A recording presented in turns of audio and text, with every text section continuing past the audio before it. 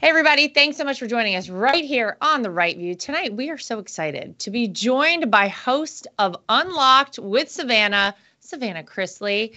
Savannah, welcome to the show. Um, I feel like we have, we ha- there's a lot I want to ask you, a lot going on. We were talking before the show about all the craziness out there. For people who may not be totally familiar with you, I think people know you the best from a reality show, Chrisley Knows Best and you were around 17 or so when the show started, from what I understand. How was that as a teen girl becoming a reality star? I feel like being 17 is hard enough, let yeah. alone with all the extra you had going on. What was all that like? So I actually started, it started on my 16th birthday. Oh my God. And it was it was absolutely insane. You like to think like that's already a hard enough time as it is and then having the world to yeah. express their opinions beliefs and what they think you should be. It was really really challenging. Um, and i kind of got put in this little box that i never really could make my way out of until now recently at 26 years old. Oh my gosh. I mean but i feel like you've probably done you've done sh- your share of growing up from that time. I mean, I'm sure being thrust into kind of the spotlight and becoming a celebrity of sorts early on as a teenager was probably really challenging, but probably matured you quite a bit. And then you had a whole situation rather recently with your family. And we were just talking before the show, too, about a, a role that you took on that you probably didn't expect, which is that you're you're kind of raising your brother and sister at this point, right? Yeah. So when my parents got sentenced to a combined 19 years in federal prison, I took on my 10 year old sister, 17 year old brother, and just took it. You know, when life hits, it's like you just take it as it comes. There's no way to prepare for it. And luckily now eight months in um, yesterday marked eight months since they've been gone. Wow. and we've kind of gotten into our groove and our routine of things. And it's not easy but i also look at it and i'm like how fortunate am i to be in a position to take on these two kids when the 2 million people that are incarcerated today they don't have that family support system that can necessarily do what i've done yeah, no, I obviously they're very lucky and and I hope they're doing okay with all this. That that must be really challenging for your brother and sister as well to kind of process it all. Um, I, I know that it must have been such a whirlwind mm-hmm. for for you, for your siblings, um, to to have to go through all of this. But I think it's kind of amazing to see what you're you've kind of taken on as a mission. You yeah. want to improve conditions within the prison systems here in America, I assume this whole situation really opened your eyes to something you never thought you'd get to see, right? For sure. I mean, I like to say I'm like the poster child for being tone deaf to our system. It didn't affect me. Why should I care? And then as my parents are in there and they start telling me these things, I'm like, wait a second, it's 115 degrees and you have no air conditioning. Wow. You're consuming food that says not for human consumption there is black mold, lead based paint, unclean drinking water. I mean, people are dying every single day in these facilities, and it's just swept under the rug. And what I love, kind of the best way I love to put it, is there's service dogs within some of these facilities.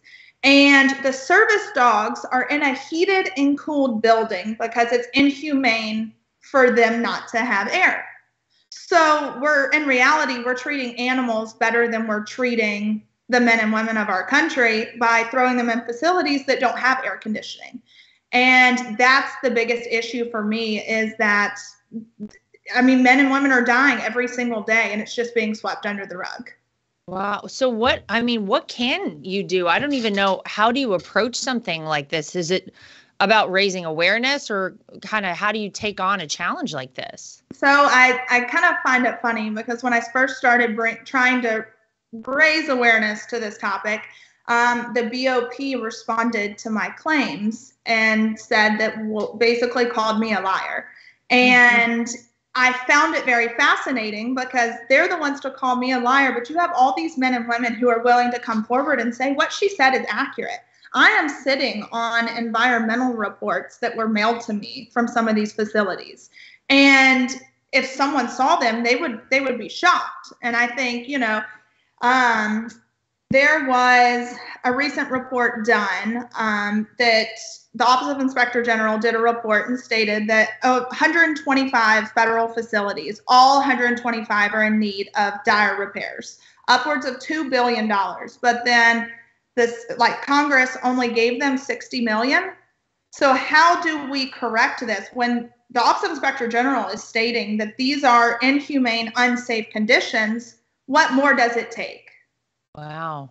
Well, listen, I, I think it's really admirable to see a, a child like you take on a, a, battle that obviously impacts your life directly by way of your parents.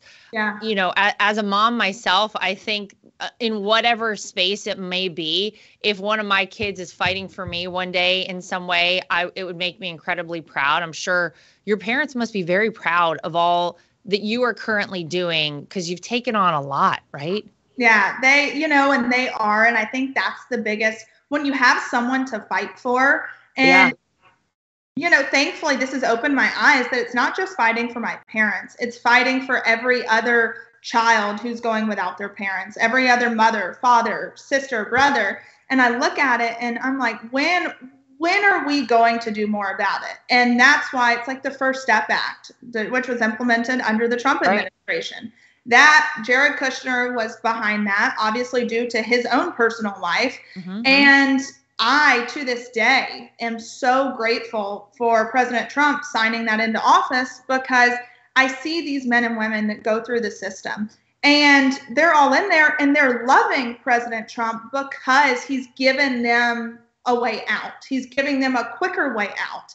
He's letting them know that, hey, you can better yourself by taking these classes and getting time off your sentences and entering into society in a safer manner. And obviously, the recidivism rates have gone down, which shows that it is effective. But unfortunately, there's not enough intellect at the BOP to actually implement the First Step Act. Wow. Well, uh, there there is more work to be done on a whole host of fronts. That is for sure. Um, and the fact that I, I love that you brought up my father-in-law because I didn't know this, but apparently your family was compared in some way to my family at some point uh, along the lines. Do you would you share the story with our audience because that's crazy? So they started the prosecutors in Fulton County, Georgia, started off the trial by stating, "Ladies and gentlemen, what we have here are the Trumps of the South," and like yeah, what? for and for me, that was it should scare people that we have prosecutors using such a polarizing statement to, right.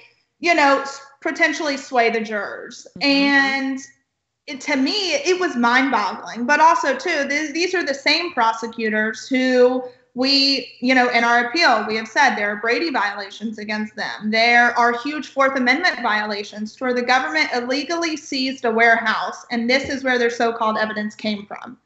And that's a bigger issue is when we allow the government overreach to keep going and we do nothing about it. We swipe it under the rug and keep moving forward. And our prosecutor, the main prosecutor, didn't show up at the sentencing hearing. And now, right before oral arguments of the appeal, he has been moved to work at the FDIC. Mm. So it's it just goes to show that the government will go to any extent to try to cover their tracks and hide the misconduct. Well, there certainly is overreach. That is for sure. Mm-hmm. And I think a lot of people have seen that.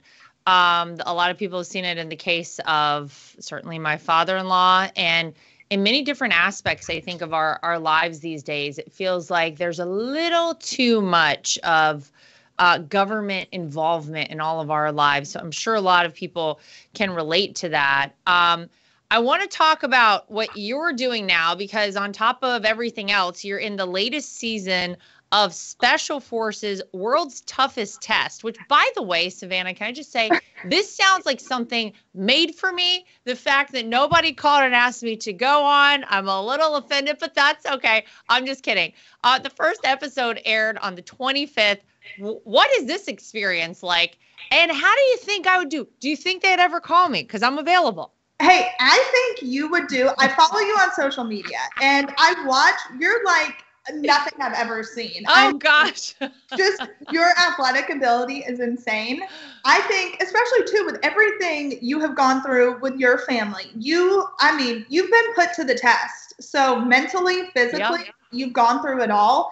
And I would love to see you on there because oh. you do have all these different polarizing figures on there. And it was a challenge. I mean, I'm not going to lie. It's like you're up at all hours of the night, freezing cold temperatures, and you have no connection back home. So that was the hardest part for me was I knew I was leaving two kids with my almost 80 year old grandmother. I couldn't connect with them, make sure they were okay. So it was a big mental challenge for me. Wow. How long were you gone? Like how long did all of this take? Two weeks. Wow. Yeah. And you don't get to shower. Like there's no good showers. There's no Oh. hairbrush. There's no skincare. There is nothing. And the food is like chicken and water. Like it is not. So that part of it I may not love, to be really honest. See, my whole thing, I tell this, I say this to people all the time. Uh, my dream, and I love this, if you're like, listen, let's go out, start in the morning. Uh, we want to go out on like some crazy hike. There's going to be athleticism involved. You're going to be exhausted. It'll really like put you through it. But then on the other end of that, Savannah, I need to know that I have like a shower, a clean bed, something to look forward to in terms of food later. That's ideal for me. Not to say that I I wouldn't do something like this. However, yeah, that would uh, that would be the problem. I'm sure that that first shower, like when you got home and like slept in your bed for the first night, that must have been great. It was amazing. It was amazing. and so you're sleeping in a room with like 20 other people on just like a little cot. Oh my gosh. Yeah. yeah. Wow. And it's not like, you know, if it's if my husband starts snoring, I just give him a little elbow, but like that might, might be hard in, in a room all, with all the people. All right. Well, let's let's see. Uh, there, I guess there's a lot more people are going to see of you on the show, right? Yes, there is. I mean, between that show and then obviously we have another family show in the works. So it's never ending. Girl, you are busy. What is something I feel like, uh, you know, our life kind of seems like a reality TV show in, in like so many crazy ways. And I say all the time, if somebody followed me with a camera, people would be like, this is this is some real crazy stuff. Just my dogs alone, my kids, all of it going down day to day. Um, it's interesting stuff. But what is something you don't think many people realize, maybe about reality TV or being on reality TV? Tell us something we don't know, because I really I don't know much. Uh, you know, what do I Honestly, not know? With our show, I look at it, I'm like, this was more of a scripted comedy because Yeah. we're never allowed to touch on the reality of everything going on. I mean, my parents were under investigation for like 10 years. Wow. and they which i that's a whole different story. I'm like it took the government 10 years to build a case. That seems a little weird.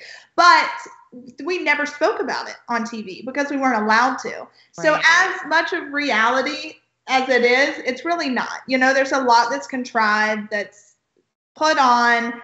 But this new show we're doing is definitely going to be more reality and it's hard when you work with family all day every day because you don't get imagine like working with your fa- you know working with your family all day every day Yeah. like I know. you you go at each other sometimes Wow. Yeah, that's a lot. And I feel like those days must be long, especially if it's not just like, oh, we're just going about our day. I'm making some lunch or I'm do- going here. If it's actually somewhat scripted, which obviously it has to be, because yeah you have these scenes where people are like in bed at night. I'm like, this, there's no way these people are in the room while people are trying to go to sleep. Like, that's definitely not happening. Right. So, yeah. But I wonder how many people do people really think that it's all totally just It's like, insane people think that when they're watching it it's happening in that moment wow. guys this was filmed like eight months ago Yeah. it, it's life is totally different now I don't know what that says about about a whole lot. Um so are you talking about your podcast or is this a different reality show you're Yeah, doing? so it's a completely different reality show Oh. We're doing that's going to follow kind of the process of getting my parents home through Wow. and also I'm in the process of starting an organization that helps to bring awareness to what's going on in our prison systems because unfortunately we treat these men and women just we throw you in we throw away the key And obviously, for decades, it's been known that that's the Republicans' way of doing things. That Republicans have not really been known for prison reform until the Trump administration. And it was the most progressive, the First Step Act was the most progressive act to be put in place for prison reform yeah. in decades. And so it's going to kind of follow us fighting that journey to get them home and to uncover a lot of misconduct and figuring out how we're going. I, have got the information. Now it's just a matter of how we're going to put it out there. And then also just raising the two kids, keeping business going as usual. I mean, I'm basically I'm a single parent, single income household. Like yeah. showing that in a world to where the world cancels you, you don't have to cancel yourself and you can keep pushing forward. You know what? I love that. I I'm uh, uh, in agreement with you on that front. I feel like a great example of that is Donald Trump. I mean, my gosh, Savannah, how many times have they tried to cancel him? And he's just like, no, like I'm not going to take it. I yeah. think that that so oftentimes people get so nervous and they kind of get frightened into almost canceling themselves. Oh, I'm just going to like shut down and like mm-hmm. eh, hide away for a little bit. No if you don't have anything to hide, don't you hide then. You should be out front. You should be speaking your truth and telling people. Um, I love that. That's great. So you also have a podcast though, right? Unlocked with yes. Savannah? Yes. So that podcast, it's been great because I started off just kind of giving people what they wanted. And now I've kind of gotten a little more comfortable and going outside of the box. And, you know, I had Governor Phil Murphy on my podcast. And I love to have different points of view and to see, okay, where he's coming from. Now, you know, I've been in discussions with Kari Lake and she said she would love to come on. Oh, fun. And to have different points of view to show people that, hey, some like their point of view is valid. It comes off their own life experience and circumstances. And one's not right, one's not wrong, but we're all entitled to believe what we believe without being lambasted ah, it's a good rule of thumb. I wish we would do more of that, to be honest. You know, and when you kind of boil a lot down, I feel like most people at the end of the day want the same things. We want our families to be safe. We want to be able to provide a nice a nice life for our families. And people generally just want to be left alone. Like just let us live our lives and let us do our thing and just make sure that the opportunities are there and available and free and all of that sort of thing. Um, this country is is truly the greatest for all of those things. We are only limited, I believe, by our imagination in terms of what we can do in the United States of America. Um, but uh, you know what? I think that you are really inspiring, Savannah, because you know, it would have been easy for you to have gone through something so public with your family that a lot of people probably would have hidden away and would have said, you know what, I, I can't face, you know, going out in front of people anymore and I'm just going to kind of hide in the background. And instead, you're like, no, I'm going to fight for my parents. I'm going to fight for my siblings. And I think it's really admirable to see that you're doing that. And I'm sure it's giving, um, giving a lot of people, I think, a good example to look up to. So kudos to you for doing that. Yeah. Oh. We need we need more of that out there. Where can people find you if they want to find you on social media? Where can they find your podcast? Yeah, so my podcast Unlocked is on all platforms. You can also watch it on YouTube. Um, and then just my social handles are Savannah Chrisley, and I use my social channels to help to bring awareness to these things. You know, I went on Fox News and spoke about it. And I think social media is unfortunately where most people get their news in today's yeah. day and age. So we have to make sure that we're speaking out and doing what's right by it. Amen. Well, good luck to you. We'll be watching. I mean, got, now I gotta watch this this show. Um, I I gotta see what I'm gonna be in for when they call me for the Special Forces show. I gotta see what's going on now with this this new reality show. When will the new reality show be out? So we're hope. I mean, within the year for sure. Okay. You know, we've had discussions with a bunch of different streamers, networks. So it's just a matter of where it's gonna land. Okay. Well, you keep going, girl. Love to see you. it hustling away. I, a girl after my own heart. Savannah Chrisley, thank you for being here with us today on The Right View. We appreciate it very much. And to everybody at home, as always, thank you for watching. Uh, make sure you like, subscribe, share, and follow. And we'll see you back here next time for more of The Right View.